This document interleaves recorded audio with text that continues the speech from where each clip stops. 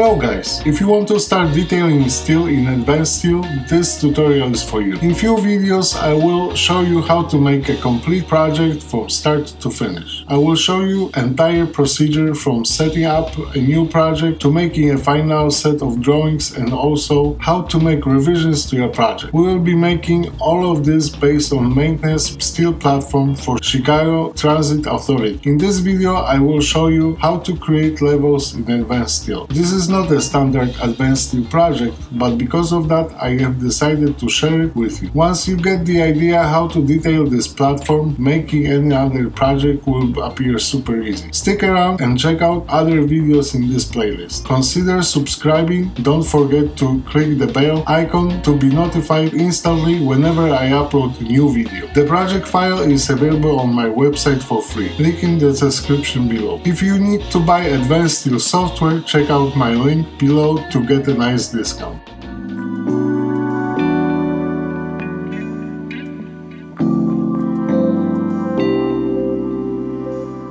Now we are in advanced steel. I have opened a project where I have a grid already drawn. You can get this grid file on my website. I've posted a link to the project file below the video. Feel free to download and open this file. We have to make several levels to attach structural members to those levels. The project is then well organized and you will have less problems in the future when doing that way. Here I'm showing the section of the platform with highlighted crucial dimensions. Please note that the height of the W6 by 20 beam is 6.2 inches and the height of the W5 by 19 beam is 5.15 inch. Go to the Home tab, open Project Explorer and then click on the Create level above. It doesn't matter that you don't have any levels created yet.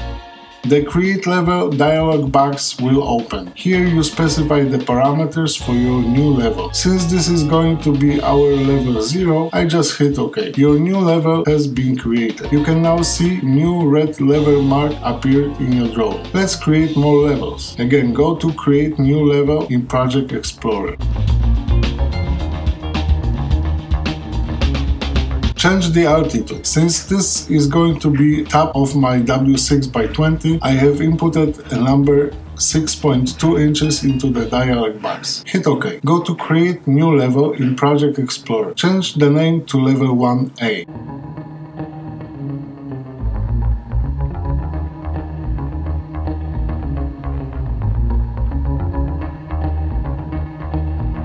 Change the altitude to 13 316 of an inch, since our next level will be 7 inches above the last level.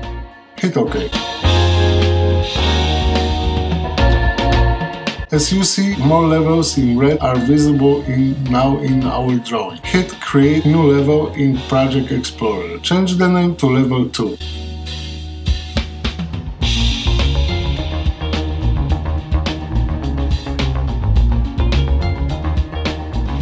Hit OK. Your new layer will appear in the project. Hit Create Level. Change the name to Level 3.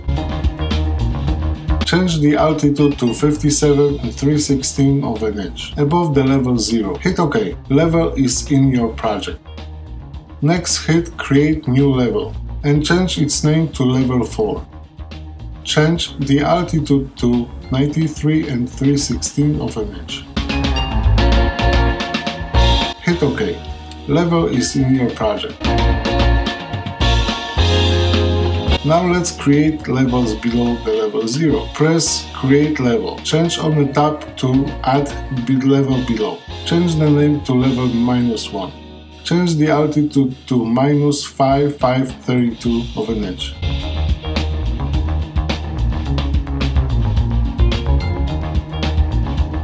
OK. You will see your level below the level 0 in your project. Now create new level. Call it level B BP since it will be bottom of our platform.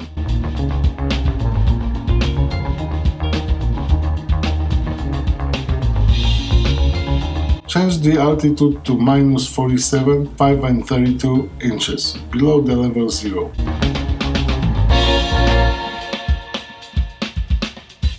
hit enter. All the required levels are created for our project. If you click on front view in the view cube, in the top right corner you will see all the created levels marked in red. Now you can compare the initial drawing with our final drawing if they match. You can see that the values in the model used in the Project Explorer.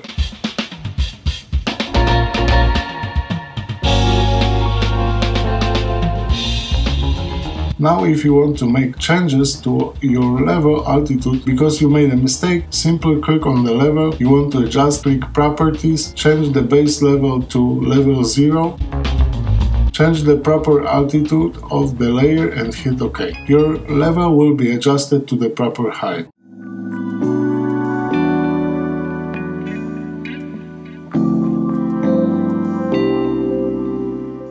In the next tutorial we'll be creating beams for this project. Check it out!